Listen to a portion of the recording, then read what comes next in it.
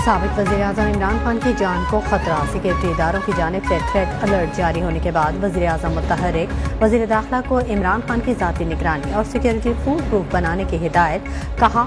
लाहौर जलसा बनी गाला और इमरान खान जहाँ भी जाएँ, सिक्योरिटी सख्त रखी जाए। वजारत दाखिला ने चारों सुबह आज़ाद कश्मीर जी बी के वजी दाखिला को खत लिख दिया।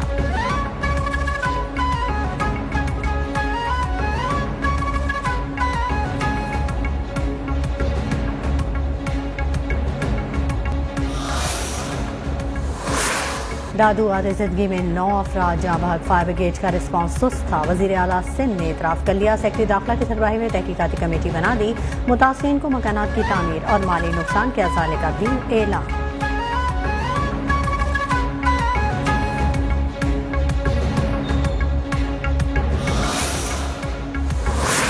वजी अजम शहबाज शरीफ आज वजीरस्तान का दौरा करेंगे। वजी अजम को शिमाली वजीरस्तान से मुतलिक ब्रीफिंग दी जाएगी। वजी अजम शहबाज शरीफ कबायली माहदीन से मुलाकात करेंगे।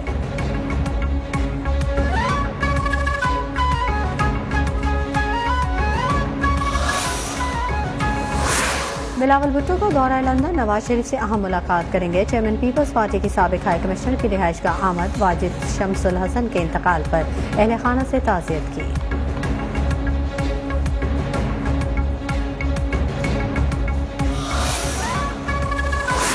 वजी खजाना मिफ्ता इसमाइल वाशिंगटन के दौरे पर रवाना। अपने ट्वीट में लिखा, आईएमएफ प्रोग्राम को ट्रैक पर लाने की कोशिश करूँगा, जिसे पीटीआई और इमरान खान ने डिटेल कर दिया था। मजीद कहा, खुशी है, तीन साल ईसीएल में रहने के बाद रास्ते में लंदन जाने और अपने लीडर नवाज़ शरीफ से मिलने का मौका मिलेगा।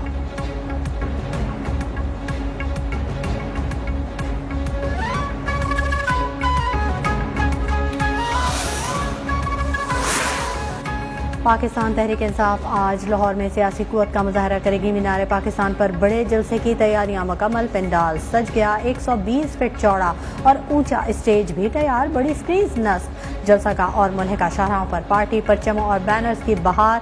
चेयरमैन पीटीआई इमरान खान अपने ज़ोर खिताबत से कारकुनान का लहू गरमाएँगे।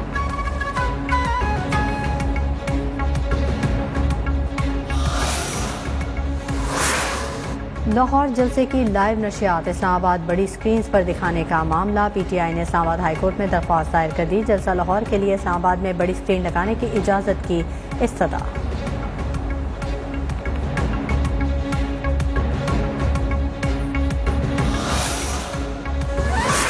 लाहौर हाईकोर्ट, आज वजी पंजाब हमजा शहबाज से हलफ न लेने से मुतल केस की समात करेगी।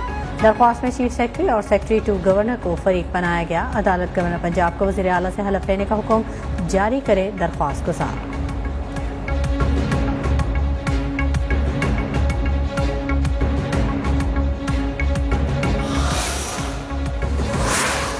और कराची के लिए 121 से ज़्यादा डीजल हाइब्रिड बसों की पहली खेप चीन से रवाना। एडमिनिस्ट्रेटर कराची का कहना है, शहर के छह अजला में 15 से ज़्यादा रूट्स पर बसें चलाई जाएँगी।